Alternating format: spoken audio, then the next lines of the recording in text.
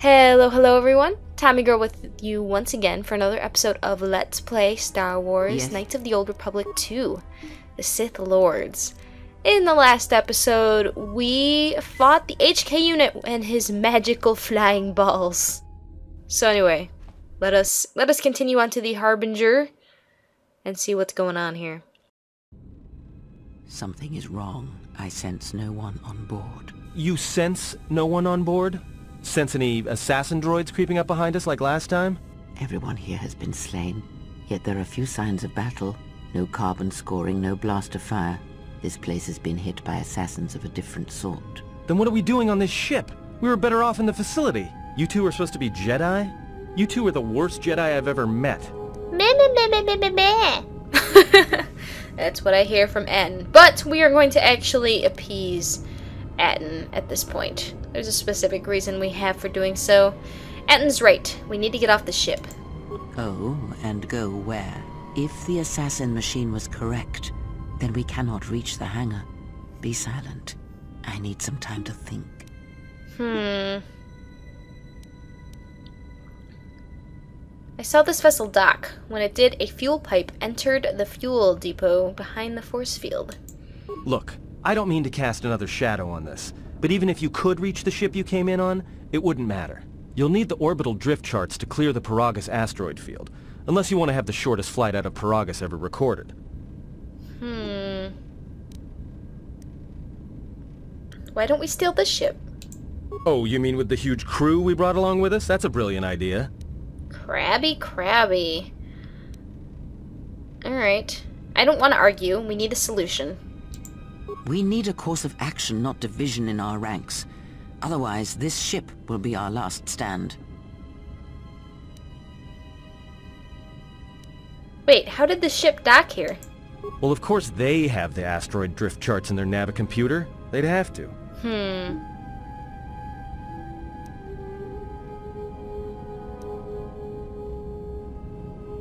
I think we can get there. Anybody see any problems with getting to the Navicomputer? Well, we'd have to get to the bridge. I mean, well, that's the biggest problem I can see. That is a sound plan for the moment. Let us go. Alright, here we go. Now that we have a party, certain actions and dialogue responses will increase or decrease your influence with your companions, depending on their personality. Some respect cruelty, while others respect nobility, loyalty, cleverness, brute force, and so on. Well, I don't remember the description being that uh, detailed when it came to this, but that could be something they added. Um, the higher your influence with a companion, the more your alignment affects theirs. An extreme high and low influence of the companion can open up additional dialogue choices. There are benefits to both, so treat them as you will. Our enemies gather while we wait here. Hmm. Atton's plan was a good one. Let's head to the bridge and get the drift charts. All right. But this won't end well. Trust me. Oh, so the bad thing is we get light side points from that. Um, the good thing is we get influence from Atton, which was the reason why I was being kind of suck uppy in that conversation, as much as I kind of wanted to tell Atton to shut shut his face.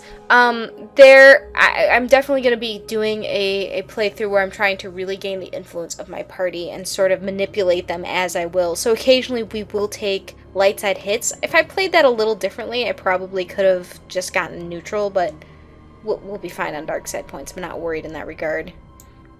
Um, if you answer it differently and you say uh, you want to, um, like if you say you want to follow Kreia's plan, you'll get influence with her.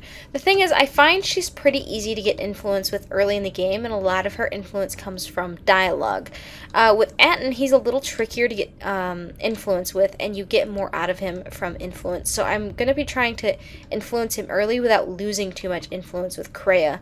Um, but yeah, we'll we'll we'll we'll talk more about that as it goes as we as it goes on this game. But I really enjoy the influence system a lot, and I enjoy um, playing dark side. We'll, we're going to be uh, manipulating people a great deal in this playthrough, and um, the more influence we gain with our party, the more will affect their alignment. Uh, Kreia being the only exception. So anyway, wow! Look at all the bodies, creepy. Yeah, this is the um, the area we saw in the cutscene uh, a while back when we saw this thing dock. Uh, we can look at this stuff. Let's try to get the charts. Cool. We've got that. Alright, we've got some logs, so let's check those out. We have taken on passengers to Telos. Sir, we've just received an emergency broadcast. A freighter under attack by Sith forces. Can you get an ID on the ship? Yes, sir. We have its ID signature. It's not in our databanks, but its profile suggests some low-stock freighter. Says it's being hit hard by a Sith warship. Sir? I'll need to confirm with command before we move to intercept. Hmm. Alright. Report. The Sith warship is empty, sir. We attached an umbilical and sent three strike teams through it, and there's no sign of a crew or its commander.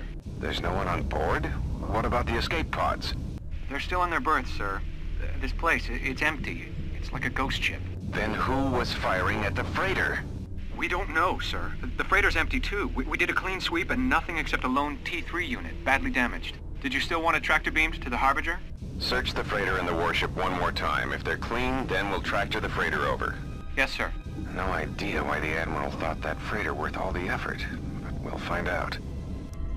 Hmm. Alright, let's uh check out the log about the survivors.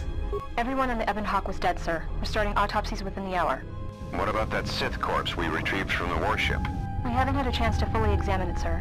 He looks human, but he's fractured in several places. Then keep me posted. Something's wrong here, and I want to know where all those Sith on the warship went. Hmm. Interesting. Emergency report. We're still experiencing a problem with the communications array, and now maintenance is telling me there's a cascade failure in the weapons. Sir, I just picked up an unusual sound from MedLab. I have come for the Jedi. What the hell was that? Sir, I don't know. Communications just got cut. Send a security team to MedLab, now! Now, maybe I'm being over over like analytical about what could be in the the a- added content, but I don't remember a lot of these logs up here. I remember some of the information being expressed by by like the, the med bay stuff that you can run into, which I, I might have either skipped or we haven't hit it yet. But I don't remember. I don't remember some of that information being uh, shown at this point, so uh, that could that could be an addition. Alright, creepy, creepy. All these dead bodies and. Ugh, we're not. We don't know if they're dead. Could be dead. Oh. Oh, My awareness is telling me that something's up. Let's wound him. Wound him. Yeah. Now. Cut him. Oh, wait. No, this person. Or, or, oh, wow, we are, jeez. We just completely sliced down those guys. No problem. That They did not get the leg up on us. Because, even though they're being sneaky. See, that's how bad stealth is in this game, okay? Real life, you could have just stabbed me, it seemed like. It seemed it probably should have worked. But no. Ooh, we got stuff to open. Let's try our security. Yeah, yeah. credits. Wouldn't have mattered if we bashed that anyway. Credit probably, uh, I'm able to get the credits anyway. Only the items break. Oh, cool. Double-bladed sword. Ooh. That's cool. A Mandalorian melee shield. Excellent.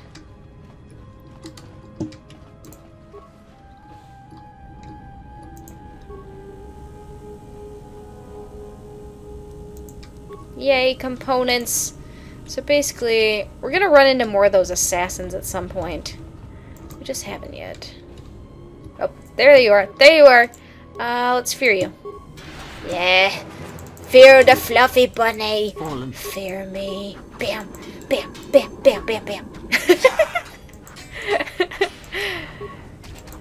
yeah, the reason why we're doing so much damage is, um, you know, the, Kreia's uh, passive about um, about the the sharing force powers. You said we didn't use any force powers, and I was actually worried before that I was going to be spoiling something, saying that uh, you share powers.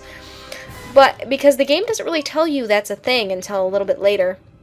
But it seems to be a um, a passive that actually is is present from the beginning, along with the extra experience you gain with having her in your party. And uh, it's pretty useful passive. Uh, probably the most useful passive, I'd say, out of any character. But um, I find later in the game it's not needed, but early game it's so useful, and it's it's not even a bad thing ever. There are just there are downsides to having Kreia in your party as well, and we'll talk about that more. But uh, she's pretty tough, and she gives us free abilities for just having her around. All right, so we went all the way to that dead end. Yep. So let's try going. Let's try going up this way. Low security door. We got this. Oh yeah. Oh. Oh. Oh yeah. it's, it's it's my it's my riveting commentary, by the way. I hear you. All right, so we've got armor now, and uh, the nice thing is Atton's jacket that he's got gives us stats. Uh, adds to saves, gives him defense. Um, uh, we can't equip the battle armor anyway. But uh, the nice thing is you kind of have a little bit of armor just, just for having him around. And obviously we can't equip uh, the battle armor on Kreia either. We can give her a miner's uniform. Might as well. It gives her a little bit extra defense. I forgot about that. Unlock it, please. Bam, bam. ah, goodness. Oh, hello. Hello, I see you. I see you because my awareness isn't terrible. Alright, let's do fear. Is there another guy here? Let's fear you too. Why not? Oh, you're dead. Never mind. Alright, bye. Oh my goodness. There's a lot of these guys though. I think we're getting some stuns from at using um, the sneak attack, I'm guessing. That's where some of those stuns must be coming from, because I don't think anyone else can really do major stuns. Although, Kreia, do you have, like, push or something that I give you? What did I give you? Oh, I can't tell. I can't tell right here. I can't remember off the top of my head what I gave her. She, I might have given her push. I think sometimes push can stun. Wait. We haven't found T3 yet, have we? I guess we. I think we find him later. I have no idea what happened to him. Well, I guess we'll find out. I hear you.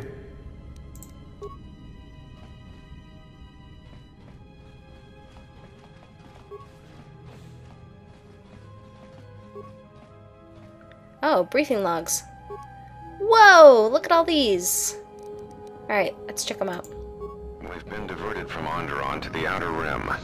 There's not enough ships out there, and we're already hard-pressed to keep patrolling the regions under our jurisdiction. I'm afraid we're going to lose it all. There's just not enough ships and too much territory to cover. We're still rebuilding from the war with Malak, and sometimes I wonder if we'll ever recover. Still, we have our orders, and the Republic's put the highest priority on this mission. Looks like the trouble on Onderon will have to wait. Hmm, interesting. So you find out a little bit about what's kind of going on in the galaxy from here. Cool. Alright, passenger transport. As ordered, we've picked up the passengers from the Outer Rim and have made quarters for them. Once aboard, we've plotted a course for Telos. We expect to arrive within 10 standard days, provided there's no mishaps. I've been ordered to give the passenger no special treatment, nor make any indication of her identity. I have some reservations about turning the Harbinger into a passenger liner, but the orders were clear. Whoever this passenger is, she's got diplomatic level priority, whether she knows it or not. Hmm. Sounds like talking about us. We were on we were on this thing at some point. Thought we were on the Ebon Hawk. That's a little confusing. Anyway. We picked up a distress signal and are sending a message to the Republic for permission to investigate. We have also transmitted the damaged vessel's ID signature to the Republic. According to the message, it's being pursued by Sith forces. There's no match for the vessel in our databanks, but the profile of the distress signal suggests it's a stock freighter of some kind. We'll only know for sure when we arrive, and we'll find out if the signal's genuine or a trap. Hmm. Interesting. Priority override. We wanted to check with you, sir, before diverting course from Telos. There appears to be some battle that has taken place in the sector, and we've received a distress signal. You have permission to divert course, Captain. If there is a Sith presence in the region, I want you to investigate. The ID signature on the freighter, did you get confirmation on it? Yes, sir. We did not have the vessel listed in our databanks, so we transmitted the code to you. Was there a match? There was, Captain. If you find any trace of that vessel, even wreckage, I want it recovered. Yes, sir. After you've investigated the sector, resume course to Telos with the passenger. It is of the highest importance that she reach Telos. Yes, sir. I'll make sure she arrives intact. Good hunting, Captain. Admiral Seed out. Sometimes I wonder if the right hand of the Republic knows what the left hand is doing. I am always being kept in the... d- Query. You sent for me, Oh, Captain. it's you.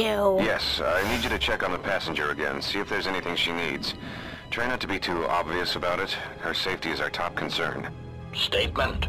I shall use the utmost discretion, Captain. As always, it is my pleasure to serve.